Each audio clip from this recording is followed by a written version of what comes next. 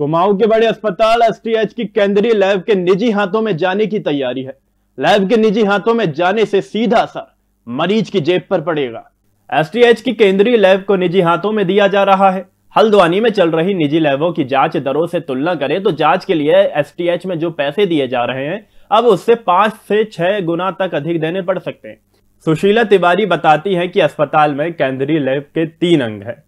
Microbiology, pathology व biochemistry. तीनों में एसटीएच की ओपीडी आईपीडी और इमरजेंसी में आने वाले करीब 700 से ज़्यादा मरीजों की जांचें होती है।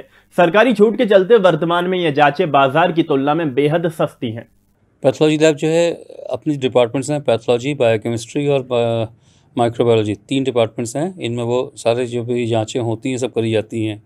कुछ सरकार की नीति रही है कि उसमें जो जो केमिकल्स एंड रीजेंट्स होते हैं, वो सेंट्रलाइज खरीदे जाएँगे, जो पूरे उत्तराखंड के सारे मेडिकल कॉलेज को वो दिया जाएगा।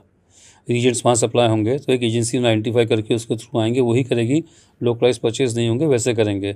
और प्लस उनकी जो है कुछ चीज़ें जो हमारे टेस्ट नहीं होते थे इसमें से हार्मोन लेसेज नहीं होते हैं ट्यूमर मार्कर्स नहीं होते हैं, कई और स्पेशलाइज जाँचें जो नहीं होती हैं तो वो उन्होंने कहा कि हम वो करेंगे। और उनकी भी सेवा अलग से होंगी और हमारी चल रही थी, वो चलेंगी।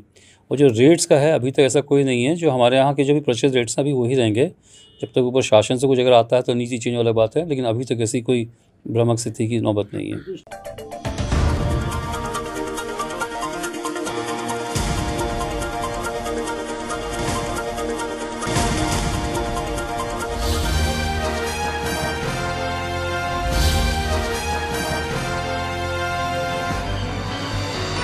आप देख रहे हैं दखल न्यूज़।